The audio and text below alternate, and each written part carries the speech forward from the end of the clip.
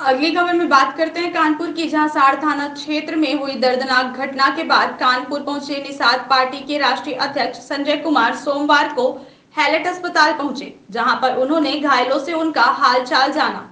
Media से बात करते हुए उन्होंने कहा कि किस तरह से मछुआ समुदाय जी रहा है, उसको देखा नहीं जा रहा है। उन्होंने मुख्यमंत्री योगी को धन्यवाद देते हुए कहा कि कोई भी अधिकारी की अगर लापरवाही मिलती है तो उस पर तुरंत कार्यवाही करते हैं। इसके बाद भी अगर कोई अधिकारी लापरवाही बरतेगा तो उस पर सख्त कार्यवाही होनी निश्चित है। कि किस तरीके से जी रहा मेरा समुदाय वो बयान नहीं किया जा सकता। और मेरे पीड़ित हैं आज उनको देखने आया हूँ। और पीड़ितों से पूछा तो उन्होंने असंतुष्टि ज़ाहिर की कि संतुष्ट हैं हमें दवाई मिला। दो नौ भर्ती थे दो ठीक होके चले गए हैं। बाकी वो भी जल्दी स्वस्थ हो गए। देखिए जो आ, मैं तो मुख्यमंत्री को बहुत धन्यवाद देता हूँ।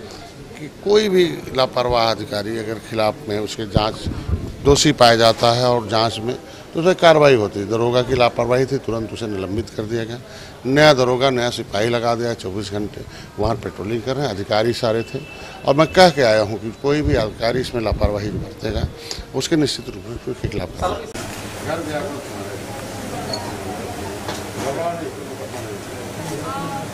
एक बच्ची खत्म हो गई सात खत्म हो गई किसी का चेहरा अरे बन चुके अनुज।